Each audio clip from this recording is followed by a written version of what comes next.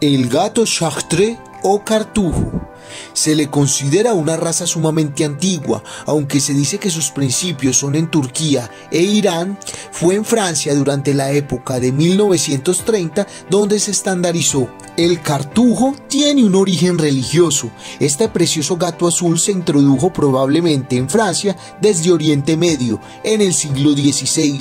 Los monjes cartujos criaban Chartres cerca de París. A finales de la década de 1920 se puso en marcha en Francia un programa de crianza metódico del gato cartujo, cuyo fruto fue un gato fuerte y sano azul de pelo corto, con una cara encantadora y un cuerpo fuerte. Durante la Segunda Guerra Mundial, el Chartres estuvo al borde de la extinción. Gracias al trabajo de algunos entregados criadores, se ha recuperado como raza viable y sana, aunque sigue siendo relativamente poco frecuente.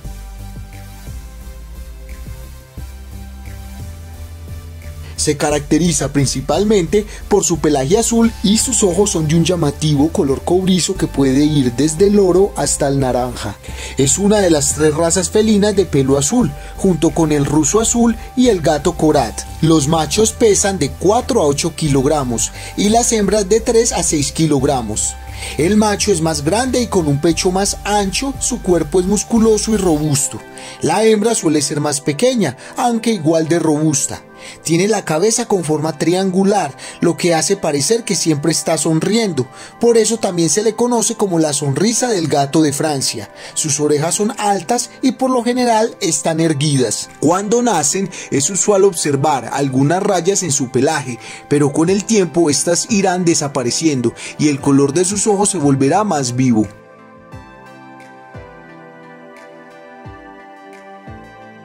Es un gato equilibrado y tranquilo, maulla poco y es independiente. Su personalidad se puede tornar fuerte. Es reservado, tranquilo y solitario. Es muy cariñoso y siempre muy fiel a su dueño. Su mayor hobby es dormir. Es un gato agradable como compañero, es de trato fácil y tranquilo, es un gato extremadamente fiel y cariñoso y se apegará a todos los miembros de la familia. Aunque el Chartres juega, lo cierto es que no necesita que le presten atención a toda hora. Si tiene ganas de jugar, le acercará un juguete a alguien, pero también juega solo.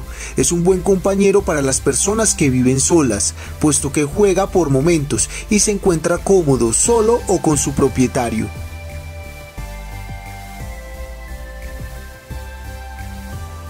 El cartujo es una raza felina muy saludable, pero puede ser propenso a luxación de rodilla, a la displasia de cadera y a la obesidad.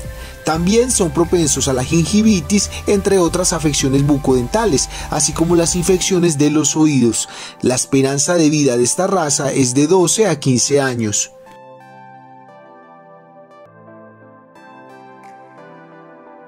Esta raza es propensa al sobrepeso, en buena parte por su voracidad y su gusto por el descanso.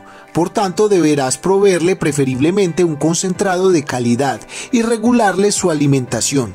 Sus orejas tienden a acumular más cerumen que en otras razas. En consecuencia, deberás ser especialmente escrupuloso con la higiene de las mismas. Si les gustó este video, recuerden suscribirse a este canal, donde cada semana subiremos más videos interesantes sobre la tenencia y el cuidado de mascotas. Hasta una próxima ocasión.